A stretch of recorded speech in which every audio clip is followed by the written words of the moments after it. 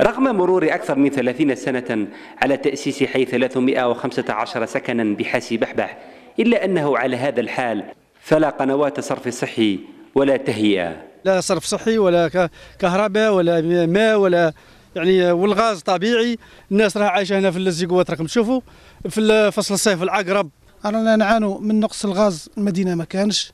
نعانوا من من قنوات الصرف الصحي ما كانش. كهرباء نص الحي فيه نص الحي ما فيهش.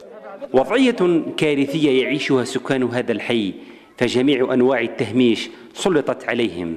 أو ناقص كلش. حاجة ما تسعاش. ورانا نشكاو وما رجعونا حتى. هو. قالوا لنا قالوا قالوا نجيبوه بالقرعه برا. إيه القرعة تسوى حتى الربعين 25 30 المياه ما كانش. الغاز الطبيعي ما كانش.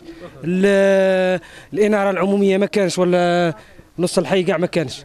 المدرسة ما كانش. المهم ما ماناش أدنى شروط الحياة ما كانش.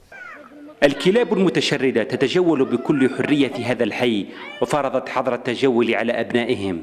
أولاد مهمسين الكلاب مشردة كنتوا راكم تشوفوا فيها.